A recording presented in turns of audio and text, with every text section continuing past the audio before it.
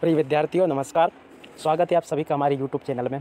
Video start करने से पहले मैं आप सभी से रिक्वेस्ट करता हूँ कि आपने अभी तक हमारे चैनल को सब्सक्राइब नहीं किया है तो प्लीज़ यार चैनल को सब्सक्राइब ज़रूर कर लेना और साथ ही बेल आइकन को भी दबा लेना, जिससे कि आपको हमारे द्वारा अपलोड होने वाले वीडियो बराबर मिलते रहे।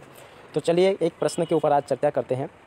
जैसा कि मैं आप सभी को बता देना चाहता हूँ कि कक्षा बारहवीं एडवर्टाइजिंग मेकिंग के ऊपर एक प्रश्न हमेशा पूछा जाता है।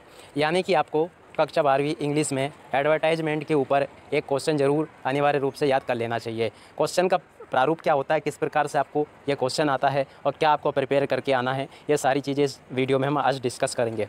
तो सबसे पहले मैं बता देना चाहता हूँ कि आप जब भी न्यूज़पेपर पढ़ते हो तो उसमें कई तरह के विज्ञापन आपको देखने को मिलते हैं। तो उसी प्रकार से आपको एक विज्ञापन न्यूज़पेपर वालों को लगाने के लिए देना है, वो आपको किस प्रकार से तैयार करना है, ये सारी चीज़ें इसमें आपको बतानी है। इस तरह का प्रश्न आपकी परीक्षाओं में अंग्रेज़ी में पूछा जाता है। तो ये तो टॉपिक तो आपको समझ में आ गया होगा। अब टॉपिक के ऊपर प्रश्न कौन सा है, वो भी आप समझ लेते हैं।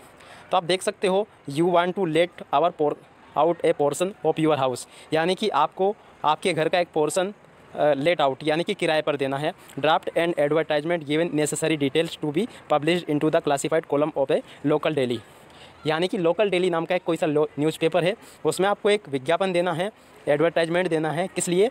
आपका मकान किराए पर देने के लिए। तो टॉपिक आपको समझ में आ गया है। जब भी न्यूज़पेपर पढ़ते हैं, उसमें विज्ञापन तरह तरह के भरे रहते हैं तो ऐसे विज्ञापन एक अंडरलाइन या कॉलम के अंदर आपको देखने को मिलेंगे। वैवाहिक विज्ञापन अलग से कॉमर्शियल विज्ञापन अलग से। तो उसी प्रकार से जैसा कि आपने, मैंने आपको प्रश्न को समझाया था कि प्रश्न में बताया गया था कि आपको एक, अपने घर का एक पोर्सन जो है, वो किराए पर देना है, उसके लिए आपको एक विज्ञापन तैयार करना है पूरी डिटेल के साथ में। अब डिटेल के साथ में कुछ चीज़ें अपनी मर्ज़ी से भी आप इसमें जोड़ सकते हो। तो इसमें मर्ज़ी से जोड़ने के लिए क्या है? ए पोर्सन तो इसमें देखिए तो बताया गया है, a portion of a newly construct house यानी कि एक घर का हिस्सा है, जो कि नया बना हुआ है। टू बेडरूम्स उसमें दो बेडरूम है वन हॉल यानी कि एक हॉल है किचन इन मॉडर्न स्टाइल और किचन जो है, नए स्टाइल का है, नए तरीका का है।